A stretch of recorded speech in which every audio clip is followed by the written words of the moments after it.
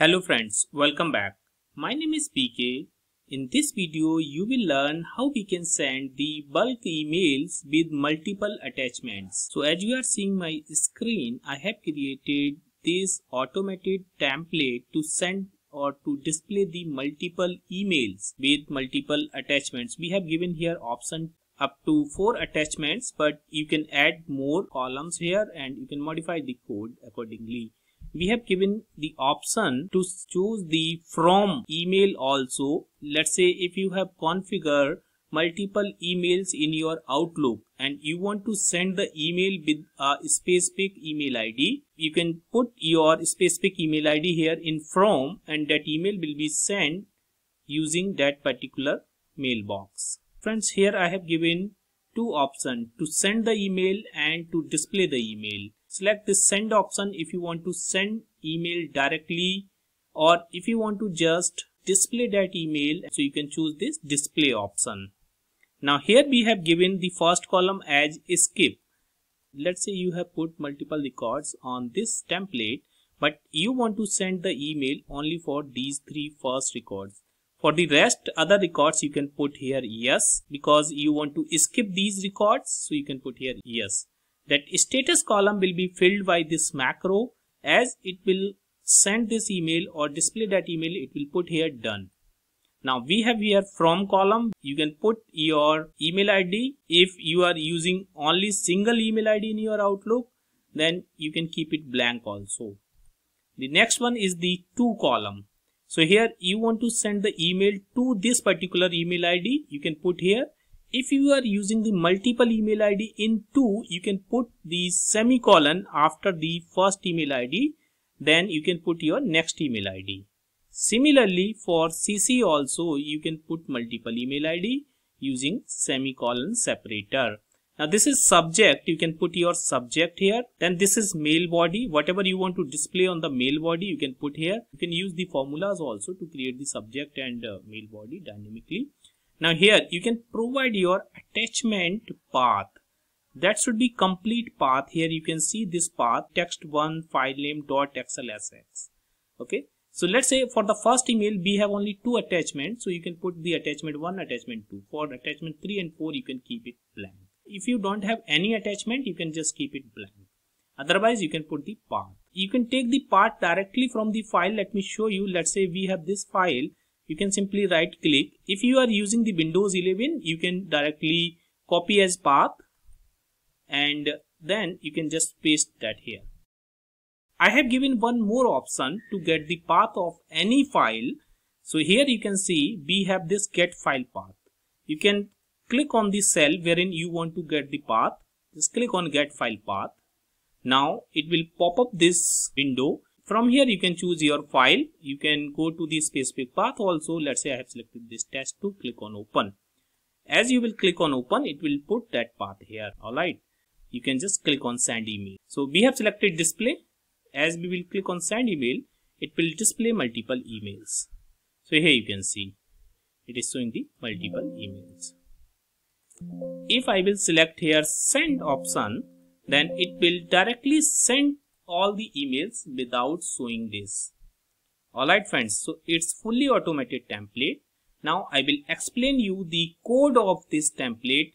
This is the next version of one of my videos wherein I have displayed the how we can send the multiple email. But I have given here the option to attach the multiple attachment and I have given here option for this from. Okay. Now I will show you the coding. This is the send email code so what we have done, we have taken here first this variable dim sh as worksheet and then set sh this workbook.sheet bulk email. So we have this bulk email sheet here. Now next we are using one more variable dim i as integer then dim oa as object. So we are taking an object variable for OA Outlook application and one object variable for MSG for the mail item.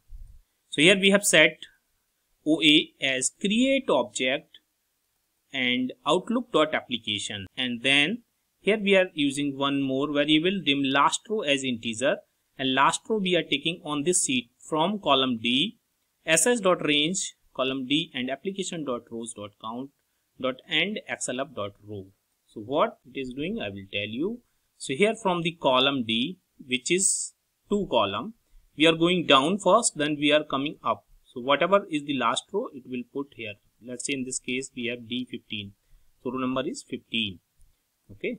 Now we are putting a loop for i equal to 6 to last row. 6 means I will show you this header is row number 5 you can see here A5 and A6 is actually data is starting from here till last row okay then first what we are checking here if ss dot a and i dot value is not equal to yes so we are making it sure here it should not be yes if it is yes then we will skip this if it is not yes then we will go into this loop. Now first what we are doing set MSG as OA Outlook application dot create item and 0 to create the new mail item.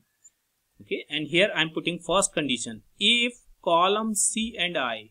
So if the value on the column C which is from is blank is not equal to blank then we are using here msg dot send on behalf of name. So friends this is the code which we use to get the from name. We can choose the different mailbox. If we are using the multiple mailbox in our outlook so we can use this code send on behalf of name equal to ss.range c and i dot value. So here we have this value so you can put the name here now coming to the two part msg this is mail item dot 2 so we are putting here 2 this column column d then we have CC column E.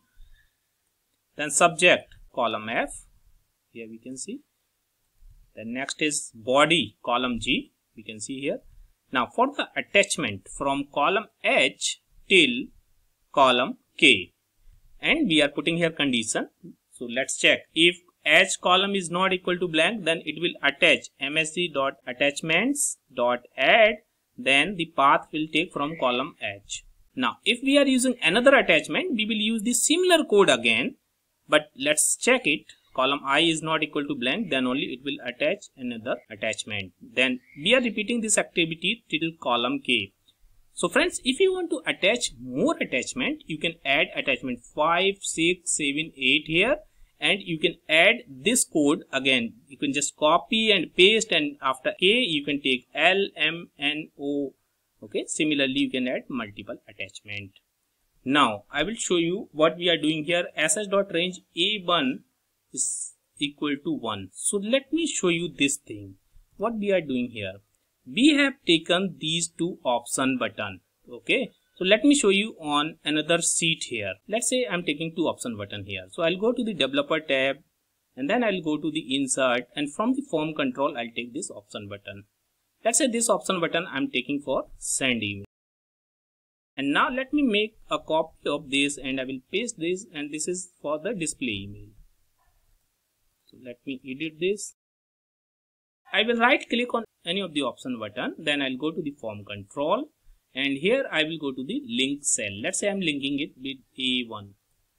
Now I have selected the second option button so value of the A1 is 2. If I will select the option button 1 then value is 1 okay so it is getting changed the same thing we are doing here let me show you this option button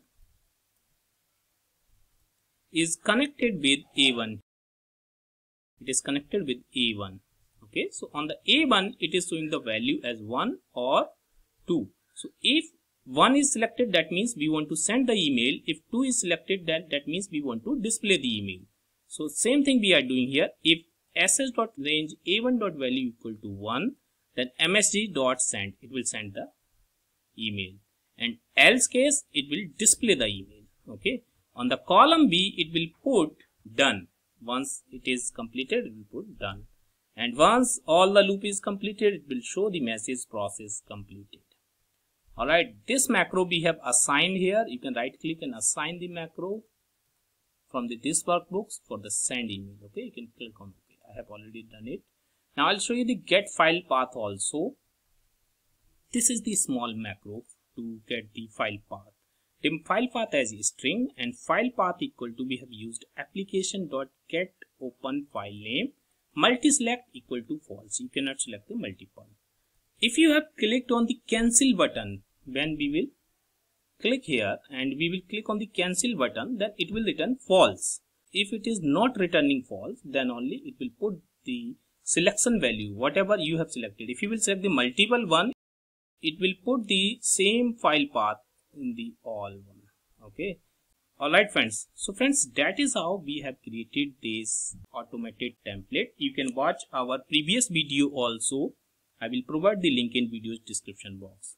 Friends i hope you have enjoyed this video. If you like this video please hit the like button and please subscribe my channel to get the regular update of my videos. Thank you so much for watching